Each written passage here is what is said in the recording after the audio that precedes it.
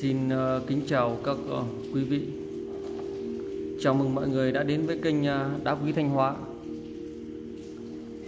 Trong nội dung video ngày hôm nay, Kênh Đá Quý Thanh Hóa xin được giới thiệu đến với quý khán giả một tác phẩm hồ lô, phong thủy, được làm từ chất liệu đá thạch anh khói chuẩn hàng thiên nhiên tự nhiên.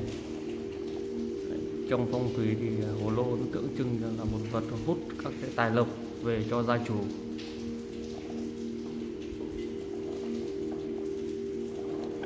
Soi độ thông đèn quý vị à, của đá cho quý vị cùng xem nhé. Thông đèn của đá.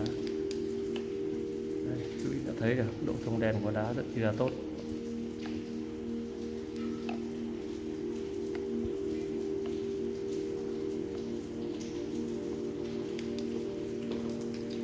Mẫu này thì à, có chiều cao của đá từ trên này xuống dưới này là 20 cm bề ngang điểm rộng nhất ở cái điểm bầu này nó là 11 cm à, và tổng khối lượng của cả đá và đế nó nặng là 2,6 kg riêng đá không tác phẩm này nó nặng là 2 kg 3 và hiện tác phẩm hồ lô này tôi đang uh, giao lưu cùng với lại uh, quý vị khán giả với giá là 900.000 đồng.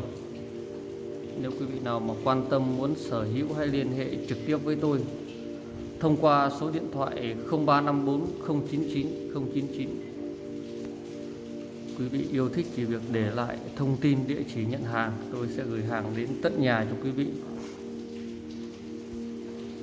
Cam kết sản phẩm được làm từ à, đá thạch anh khói chuẩn hàng thiên nhiên tự nhiên.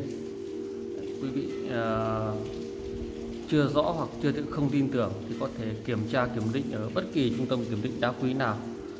Nếu phát hiện không đúng tôi xin đền gấp 10 lần giá trị đơn hàng cũng như là toàn bộ các cái chi phí mà khách hàng phải bỏ ra để kiểm định giám định đối với sản phẩm. Bên tôi thì tất cả các đơn hàng khách hàng mua ờ, mà chuyển khoản trước sẽ được ưu tiên, bao ship trong phạm vi toàn quốc. Còn thu hộ thì quý vị trả hộ phí ship cho tôi. Quý vị nào còn chưa đăng ký kênh thì hãy bấm đăng ký để thường xuyên theo dõi được các video mới nhất mà hàng ngày kênh à, đá quý Thanh Hóa xếp lên các sản phẩm đá phong thủy, đá đẹp tự nhiên, phục vụ đến các quý khán giả. Cảm ơn mọi người đã theo dõi video. Xin kính chào và xin hẹn gặp lại ở những video tiếp theo. Nếu có nhu cầu mua hàng thì hãy liên hệ trực tiếp với tôi thông qua số điện thoại 0354 099 099 bằng cách gọi điện trực tiếp hoặc nhắn tin qua Zalo theo số điện thoại này.